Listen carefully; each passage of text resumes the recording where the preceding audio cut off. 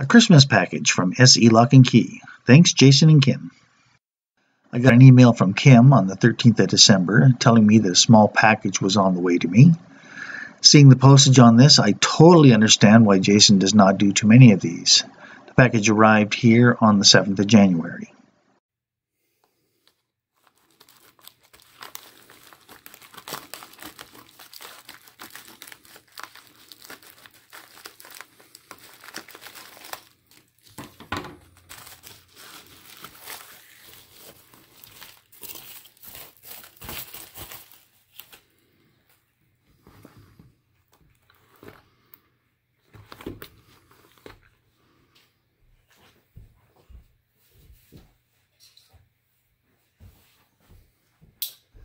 This is my first Locksport video, and as you can probably tell, I'm adding in the audio as I go.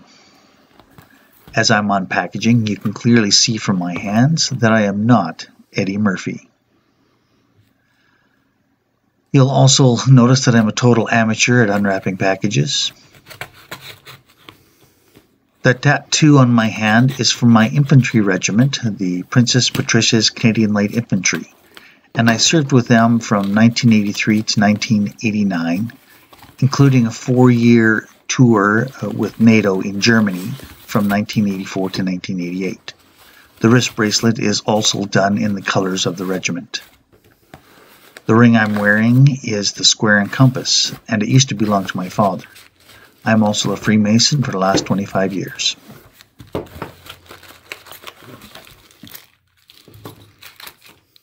Now unwrapping the new toys.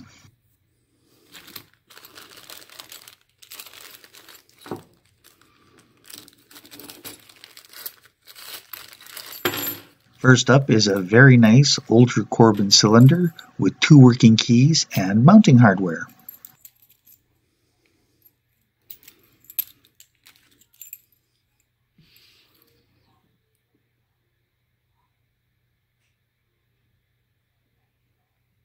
I will need to figure out this camera stuff.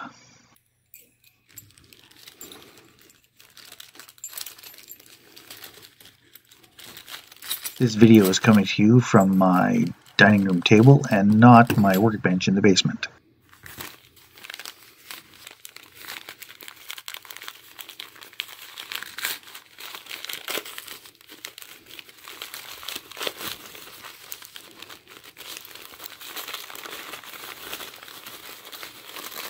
This one is a vintage Corbin wafer padlock with, I believe, five wafers. It has two working keys. The shackle is slightly bent, but the lock works great. I'm going to try and straighten out the shackle on this uh, beautiful padlock.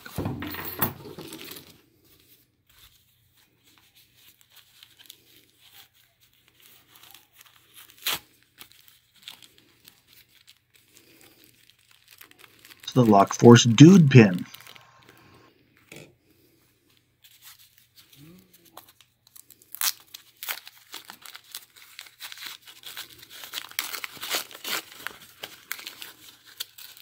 My first Baldwin mortise cylinder. In fact, my first ever mortise cylinder.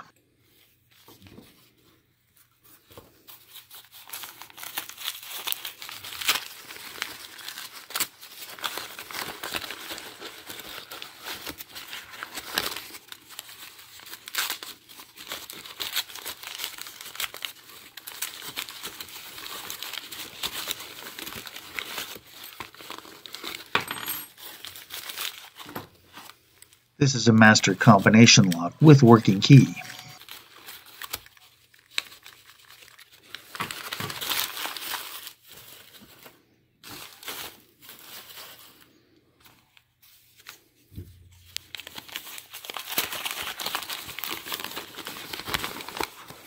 When I was unwrapping this part, I was not entirely sure what it was at first, but I figured it out. It goes with the master combination lock, and when both parts are together, it looks like a master lock model 1630.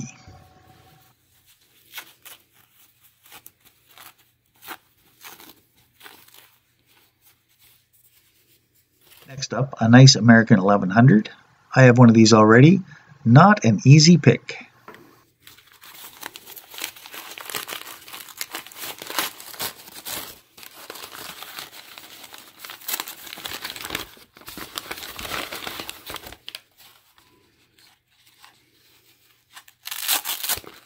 This Maxpedition bag is quite nice. I'm not quite sure what I'll use it for, but I'll make a good use of it.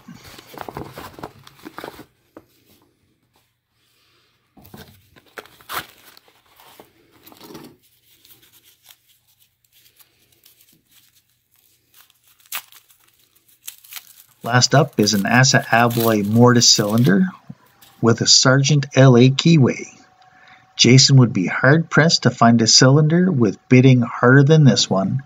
This could be a challenge lock.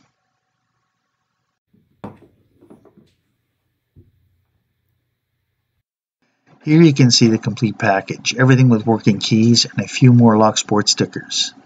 I think my first pick will be the Corbin wafer padlock. I think it'll rake, single wafer pick, and possibly shim, but I'll need to straighten out that shackle first. Well, that's it. Again, special thanks to Jason and Kim at SE Lock and Key. Make sure you share and subscribe to Jason's channel, and let's help him reach his goal of 10,000 subs by the end of 2020. To all my fellow veterans, fellow volunteer firefighters, fellow volunteer first responders, and fellow Lock Force friends, remember to practice your self care and keep your lockpicking legal.